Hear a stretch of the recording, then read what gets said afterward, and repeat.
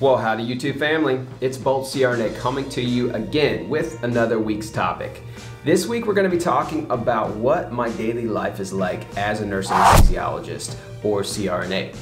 And a lot of you guys kind of are curious, what, what's it like when you, you just go into work and you get report on patients? It's, it's very different from what your life is like as an RN. So I'm kind of gonna, I'm gonna give you like a rundown uh, from point A to point B to point C or whatever of what my typical day flows like.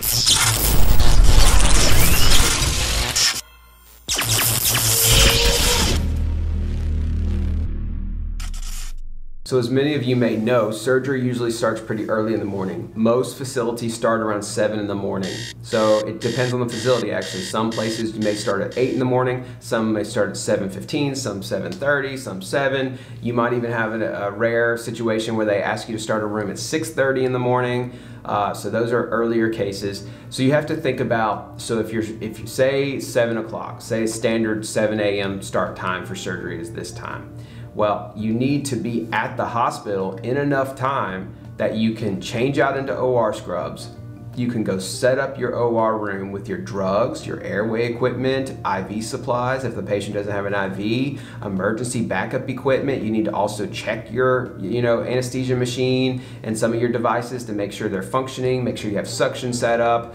Uh, these are all important things to check every morning before you get there or before you get started with surgery. So you need to get to the hospital early enough to be able to do all those things and then you need to go see the patient in the pre-op area. They're gonna be in a pre-op bay waiting on you. So different people arrive at different times based off how long it's going to take them to do these things. If you have an open heart surgery case to do that morning, those are big cases and those are going to require you to be setting up for 45 minutes, maybe an hour. There's a lot of setting up, there's lots of drugs to get together, there's lots of things you have to do for those types of cases.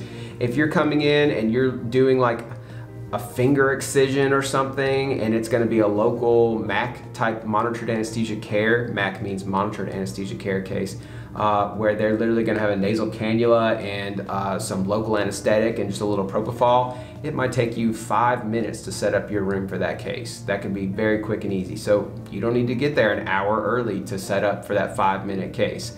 Uh, so you maybe you sleep in a little bit more that morning. Um, the other thing to think about is your patient. So a lot of times you'll look up your patients the day before, sometimes even the week before. You'll have, usually most places will let you know what cases the following week on which days they want you to, to provide anesthesia for. So you can look up the patient, you can look up all the information about them, you can look up their labs, you can look up their medical history, you can look up the last time they were in the hospital, what it was for, if they have cardiac stents, if they have respiratory problems, what medications they're typically taking. Uh, you, you can analyze all this, all these details and that will help you formulate kind of what your anesthetic plan for that case is going to be. Because plans will change based off of the uh, patient status and what's going on with them. And sometimes you actually need to optimize them more. They may need some serious optimization to make them safe for the anesthetic. So sometimes you may have to um, send them for a cardiac clearance or something like that if there's something really going on with them that's you know pretty pretty intense so you're to look up those people at least a day before, but probably even maybe a week before prior. And, and at my facility, we actually send them letters. We send them like a little letter with our information and our name and explaining what we're to be doing for them and also reminding them not to eat the morning of surgery and drink and all that stuff the morning of. So um, we do all that to touch base with them so they have an idea of who we're going to be providing their anesthesia and, and, touch you know just kind of a, a, nice little touch base with them so that the morning of surgery they're not seeing my name or hearing me or seeing my face for the very first time. So anyway you do all that, that should give you your information so that the night before surgery the next day, you kind of know, do I need to get, be getting there early? Is this an open heart case? Is this a complicated patient? Are they gonna need a long pre-op period with me? Am I expecting to have to go through a lot of questions about in-depth things, about their COPD management and their sleep apnea and a bleeding disorder and a spina bifida and just all these other types of medical disease processes going on with them? If I know they have a lot going on, I know know I'm going to need longer with them in pre-op. I'm going to have to talk to them a good bit more and figure out exactly what's going on with all these processes and make sure I understand what a good baseline for them is before we go have surgery. So that all plays into the factor of like exactly how early do you need to be getting there. On average, I would say I get there um, if I know the surgery needs to be starting at 7:30. I will be there probably at like 6:45. And if it's for a normal patient and a normal surgery, I'll probably get to the hospital like 6:45, and that will give me enough time to get dressed, get my stuff ready in the room, go pre-op my patient, you know, make sure everything's set up last minute, make sure that, that when I talk to the surgeon that, that, we're all on the same page, what the surgeon is needing for the surgery, I'm aware of, and I have my anesthetic plan is gonna meet all those needs. So my day starts like that. I um, usually it's you know seven o'clock, seven thirty start time. Sometimes eight o'clock if you're in a surgery center. and It's a little bit later start times occasionally. And so then you, you take your patient back when the surgeon checks the patient off and they say that, you know, they mark the arm or they mark whatever they're working on and they say now it's time to roll back. You roll back with the circulator, you induce anesthesia, you establish an airway, whatever you need to do for the case. Uh, you then monitor and maintain the anesthetic throughout the entire case until surgery is over and you're also responsible for all vital signs stuff that's happening, maintaining blood pressure and heart rate and making sure good urine output is happening and make sure that their brain is getting perfusion and make sure they're not you know, throwing clots to their lungs and having a PE and making sure they're ventilating well and oxygenating well and all of the, you're pretty much maintaining their body throughout surgery. Everything that's not being cut on, that the surgeon is actually cutting on and removing or placing or whatever they're doing, everything outside of that zone is your responsibility to maintain for the surgery. So you're gonna do that for however long the surgery is. And then when the surgery is over, you're going to slowly start to wake them up from anesthesia.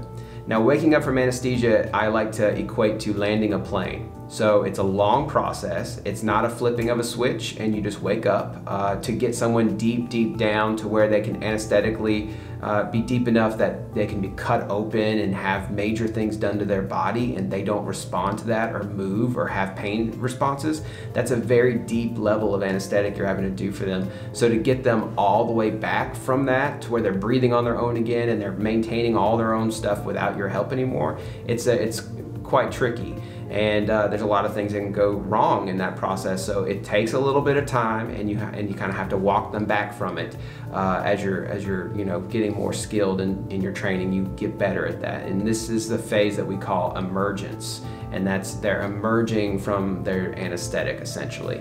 Uh, so you'll do that for your patient. You'll go through emergence. Then probably you should have hopefully remove the airway if they're breathing fine on their own and supposed to be going home that day. You don't want to leave an airway in their mouth. Uh, so then you would remove that, take them to the recovery room. You'll give them handoff report to a recovery room nurse, which is a PACU nurse, and then you'll sign off on the patient. You'll sign that they're healthy and and you know vital signs are stable and they're comfortable and they're breathing well and everything looks like it's being handled well. There's no serious adverse events from the anesthetic, and then you will um, leave and go see your next patient. So the next surgery, you pretty much start the process off again. You make sure that you go your drugs set up. You make sure your equipment's good to go. You make sure that you know pre-op the next patient, and you essentially kind of do that over and over until whatever, whether the last case is finished, if you promise to stay till the cases are done. Some facilities will ask you to work on that kind of schedule where you will, um, you'll be assigned to an OR room and you are allowed to leave when that OR room is done, essentially. Like you, your job is to finish out that OR room. So once the OR room's finished, you're done for the day, you get to go home. Uh, some other places ask you to do like a set amount of time. So they may say, hey, can you work 7 a.m. to 5 p.m. for us? And they expect you to kind of stay. So if you finish up your room and all your OR cases at 2 p.m., they may not ask you to go home. They may ask you to go over to room six next door to you and let someone else out who was supposed to go home early, but their cases are running long. So you may take over their cases and finish up their cases.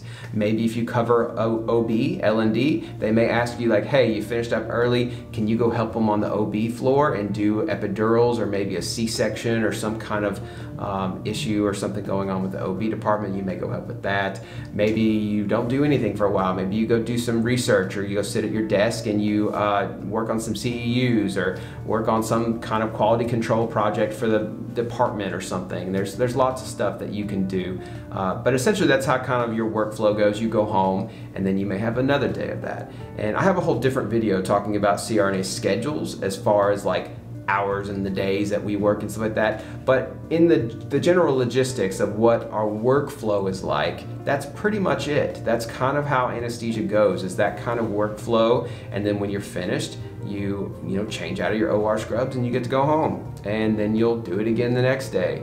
And like I mentioned, if you have surgeries the next day that you haven't already looked up, at some point during that day, you'll be looking up the next day's cases and, and beginning, beginning like uh, research on their disease processes and everything going on. So there's a lot of that that we do in uh, anesthesia of like looking up patients, understanding their backgrounds, formulating anesthetic plans that are tailored to that unique type of patient situation. Now, I don't want you to think that that is just the only thing that we ever do always, and that's, you know, the, the, the same thing every single anesthesia provider ever does. There's other places that you can kind of function if you like pain management. I know some CRNAs who do pain management and they see patients and they do epidural injections and they do other types of like visiting with patients and talking about their chronic pain issues, so you can do that. If you want to work in a GI clinic, there's GI uh, anesthesia where you do a lot of GI cases back to back to back, and that's a slightly different workflow and a little bit faster. Same with eye center cases where you don't induce general anesthesia on most patients, you just give a little bit of sedation, and those patients roll through a lot faster. You can work as a professor as a CRNA, some people work as a professor and teach. Uh, you can you know do some admin work as a CRNA, and then you're, you're not really doing clinical anesthesia all the time. Uh, if you like doing blocks, there are certain people who just do blocks all day. So in that sense, your workflow is going to be different. Uh, you're, you're not really going to be doing anesthesia as far, you'll, you'll be doing blocks for patients all day. You won't be going to the OR as much as you will be like finding patients that need blocks and placing them. Maybe that's in the ER. Uh, maybe that is, uh, you know, in the, in the OR or in PACU, a rescue block with a patient who's having a lot of pain and breakthrough pain or something like that. Or it could be on the floor, a patient who's post-op day one and needs needs, you know, more pain control or something. So yeah, there's a lot of stuff, and that's not even mentioning being on call. So when you're on call, the workflow is going to be very different, much more sporadic. Um, so there can be quite a bit of variation to that, but I would say the description of what I gave you is 80% of what most of us do day in and day out uh, for the most of the part. Uh, there's, there's always variation, but I would say it's a good rule of thumb. If you like the way that that sounds of that workflow, then that's probably good because anesthesia might be a good fit for you. Well, all right, guys, if you have not hit that like button, what the heck are you doing? Hit that like button, hit that subscribe button. A lot of you guys watch my videos, but tons of you don't subscribe. 75% of you who watch my videos don't subscribe. I don't get it. It doesn't cost you anything. Hit the subscribe button. I come back once a week, every week. Uh, you know, I take that one month off, but I never do that. Uh, that's a one-time thing. So from now on, weekly videos, come back, hang out with us. Until next time, let's bolt out.